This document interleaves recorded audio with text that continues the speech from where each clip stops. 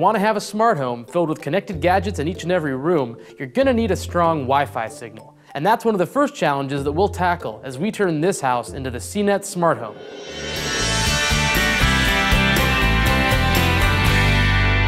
Now, if you're living in a regular sized house or a small apartment, your existing Wi-Fi network is probably more than fine for smart home gadgets. But this is a large property, 40,000 square feet, and we want to cover every inch of it with really reliable Wi-Fi. That means that we've got work to do. So what we're doing now is mapping out the strength of the signal across the entire property. There's a lot of software out there that'll do this. We're using a free app called NetSpot.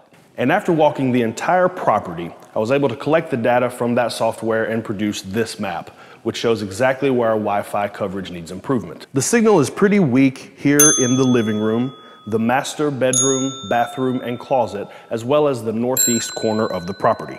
Our biggest obstacle to overcome is the router's location. It's right back there, and that's a good spot. It gives out a pretty good signal for most of the house, but there are a lot of walls, and that causes interference, especially out here in the yard. If we want to get a signal out here, we're gonna need to boost its strength. Fortunately, we have a plan. New hardware. CNET router guru Dong Ngo recommended this ASUS model for its wide coverage. We'll install one as our main router and a second one as a repeater. Okay, let's get to work. All right.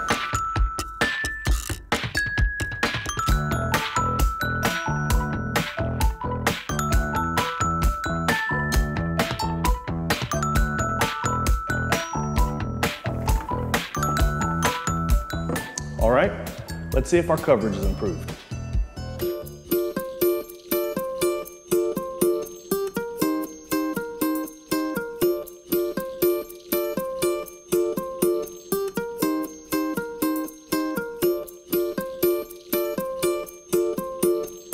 So there you go, just a couple of improvements have really helped improve the Wi-Fi situation. It's a big house and a big property, but we can feel confident now that wherever we put a connected device, it'll have a strong Wi-Fi connection.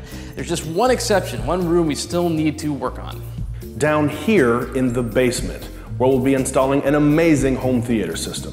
For that, we'll run a hardwired connection straight to a router, but that's coming later, so be sure to check back in the coming months. If you have any questions about the products we're testing or the tools we're using, check us out on Twitter at CNET Smart Home. Here at the CNET Smart House with Steve Conaway, I'm Ry Crist. We'll see you next time.